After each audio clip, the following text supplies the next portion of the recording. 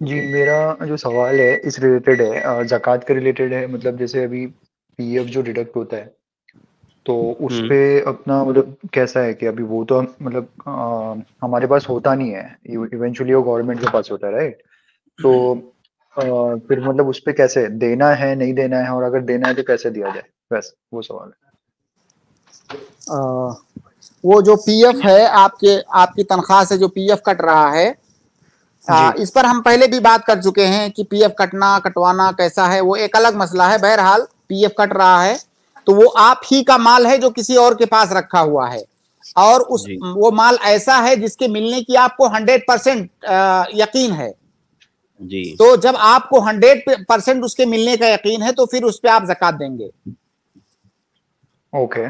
तो शेख लाइक कैसा होता है? अभी ये हर मंथ अपना रिडक्ट होता है ना? तो उसमें कैसा अभी जो अपना रूलिंग है एज पर इस्लाम की एक साल होना चाहिए राइट तो अगर हाँ. अभी हर मंथ जब उस पर डिडक्ट होता है तो वो वन ईयर वाला लास्ट वन ईयर में जितना था वो हिसाब से मेरे को कैलकुलेट करना पड़ेगा कि कैसा हाँ। करना पड़ेगा? जब ये भी जब साल हाँ, जी जी बिल्कुल। जब साल जब साल पूरा होगा तो उस वक्त आप देखेंगे कि मेरा पीएफ कितना कट चुका है कितना वहाँ जमा हो चुका है उतने का सिर्फ़ आप देंगे।